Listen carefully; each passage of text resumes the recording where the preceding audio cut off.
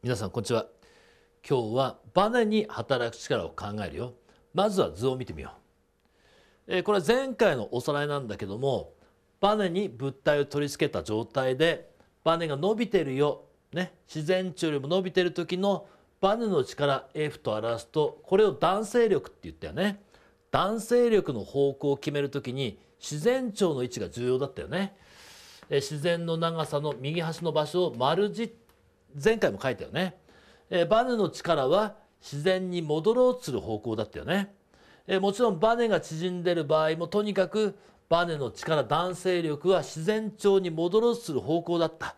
大きさはフックの法則に従うよね。フックの法則は伸びまたは縮みに比例する kx ニュートンと表すことができたよね。えもちろん k と書いたのがバネ定数なんだけどもさあ前回はバネが物体に及ぼす力を考えたんだけども今日はバネそのものに働く力を考えていくよ。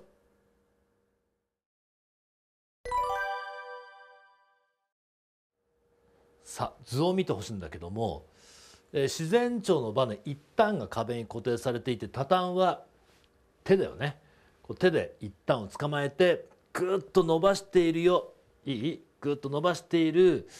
でその時に手に働く力はもちろん自然に帰るだよね自然調の位置がここだから自然調の位置に戻ろうとする方向に手は力を受けるんだけども今ここで注目したいのは手に働く力じゃなくてズバリバネに働く力を考えてほしいわけ。えー、バネに働く力なんだなんだけどもまず手がバネを引っ張る力いいこれバネに働く力だよ大きさ F と書いておこう。これで十分かな。よく見てほしいんだけどもバネは何に接してるかなっていうと手と壁に接してるの分かるよね。接触力っていうのを考えてほしいわけ。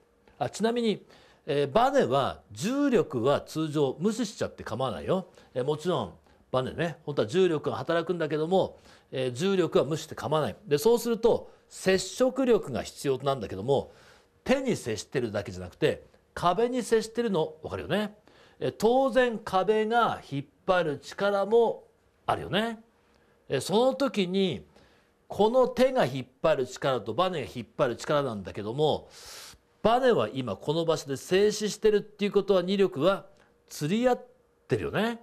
静止するためには逆向きで同じ大きさの力が働いているよね。えー、つまり何が言いたいかっていうとバネに力を加えました F ニュートンの力を加えたって言った時に両端に働く力なんだっていうのをしっかり覚えておいてほしいわけ。当たり前だよね。バネって一旦だけに力を加えることはできないわけね。必ずバネは、えー、右側にも左側にも力が働いてるんだよ。えー、F に F ニュートンの力を加えるというのはそれ両端に働く力なんだっていうのをしっかり覚えておいてほしいわけ。さあ、えー、それがここに出ます。バネは両端を同じ力で引っ張って伸びるんだよ。えちなみに F の大きさなんだけども今バネ伸びてるね。伸びを X とするとえもちろん F はフックの法則に従う kx ニュートンと表すことができる。でね、でこれもやっぱりフックの法則に従うっていうのは、えー、しっかり覚えておこうね。さあバネに力を及ぼした F ニュートンの力を及ぼしたそれは両端に働く力なんだっていうのをしっかり覚えようね。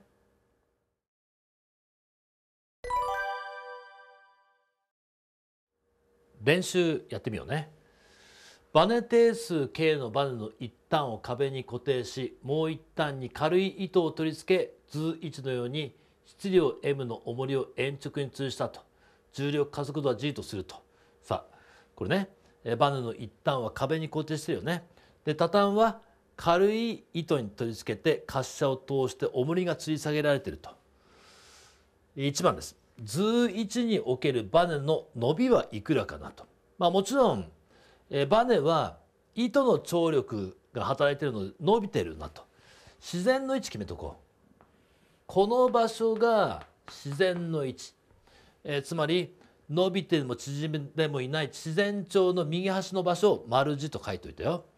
そこからどれだけ伸びてるのかな？伸びを x と表しておこうねこれが知りたいっていうのが目的なんだけどもまず重りあるよねこの重りに働く力を書いておくと重力と重力は mg だよね。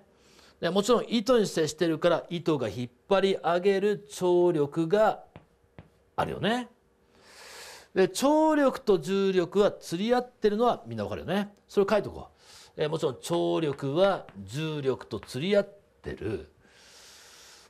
バネに働く力見てほしいんだけどもバネは糸から引っ張られてるの分かるよね。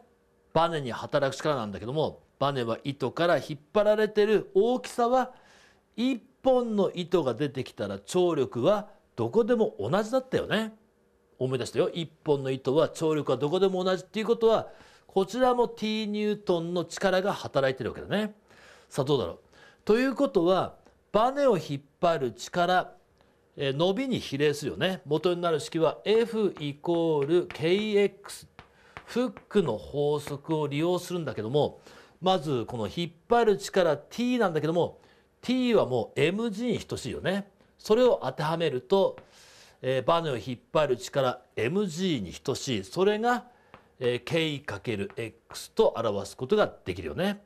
でもうこれでバネの伸びは x は k 分の mg と表すことができるよね。これは楽勝だよね。続いて括弧にやってみようね、えー、図2のようにバネの両端に質量 m の重りを延直方向に通した場合の伸びを求めようと。図1の場合は右側だけに重りを吊るしてあったよね、えー、バネに働く力は結局重力と同じ大きさだったよね、えー、この時の伸びは x は k 分の mg これが括弧1の答えだったんだけどもじゃあこれね。えー、今度は両端にバネをね両端に重りを吊るしてるっていうことは当然まず右側に働く力はさっきと同じ mg ニュートンの力が働いてるよね。こちらにも重り吊るしてんだから mg ニュートンの力が働いてるよね。そうするとどうかな？伸びは一体いくらかな？こちらは mg ニュートンの力が右端に働いていた下の図だと図2の場合だと右にも左にも mg ニュートンの力が働いてるよね。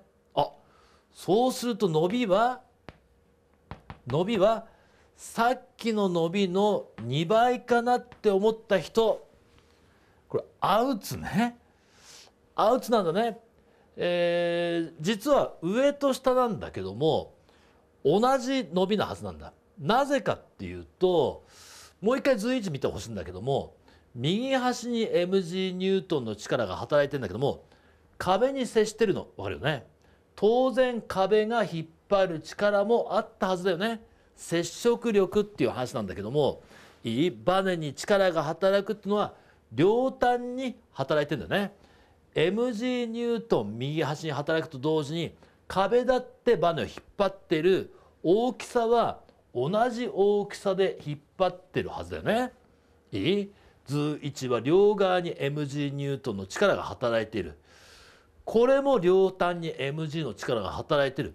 全く同じ状態だよね。ということは伸びはいい括弧2の伸びは実は括弧1と全く同じ k 分の mg と表すことができるんだね。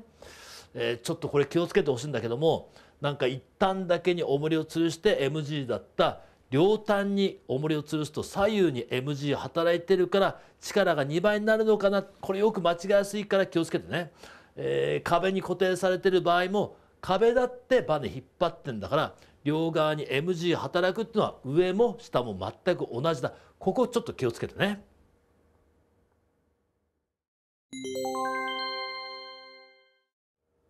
さあ今日のまとめなんだけども今日はバネに働く力を考えてよね、えー、バネを引っ張った時に右端に F ニュートンの力を加えた、えー、バネは一旦だけ引っ張ることはできないからね。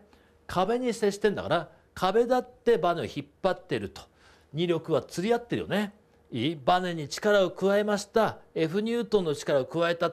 それは必ず両端に働く力なんだよっていうのはしっかり覚えよう。さあ今日のまとめ。